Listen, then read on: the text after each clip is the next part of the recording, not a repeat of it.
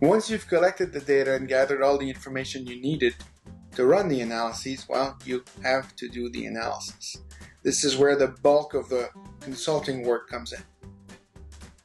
Your job here is to get the job done, to answer the questions, to solve the problems through quantitative means.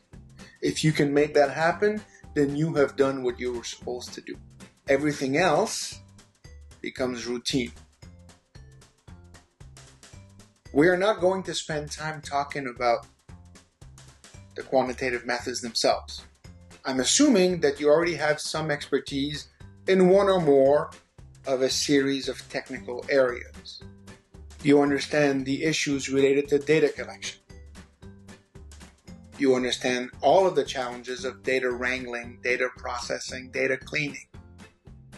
You can visualize the data, perhaps through a dashboard, or using the functionality that comes with various programming languages like R and Python.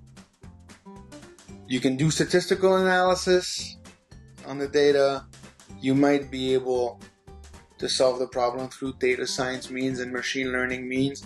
Eh, look, everything that I've listed up to now is part of data science. Machine learning is just another way in which we can insights from data. Perhaps you're going to be working with an optimization problem. It could be a queuing system problem. You might have to do trend analysis and forecasting for various time series. You might have to run simulations and so forth. I've listed those because these are all things that I've had to do in my practice. There's a few other things I've done as well that I haven't listed because I think they were one off. They weren't the types of problems or projects that you would usually be faced with. I remember doing something with ODEs at some point. You'll notice there's not an awful lot of, you know, flat out algebra here or topology, but it doesn't mean that you can't use algebraic approaches and topological methods to get to a solution. But in a sense, all of these courses you might have taken help you hone your analytical mind. I don't know how many of these things you feel you're an expert in. In practice, you probably want to have two or three areas of expertise and a passing and passing knowledge in the other fields.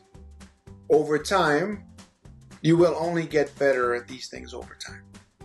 Do you know where you stand right now on these areas? Do you understand your expertise? Do you think you have expertise? I promise you that you do.